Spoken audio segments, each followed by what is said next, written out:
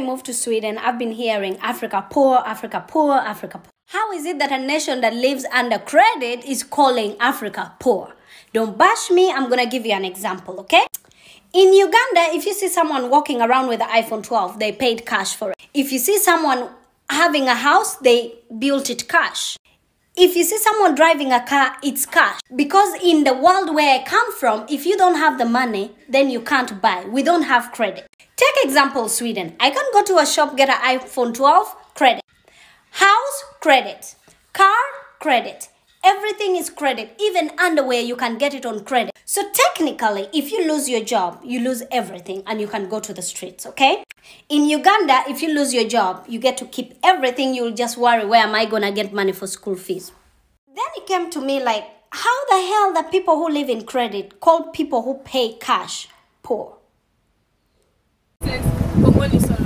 All the African news is.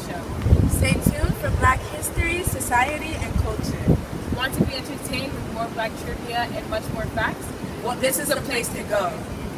Hey, did you know the first computer was made by a black person? No, I didn't know. Where'd you find out?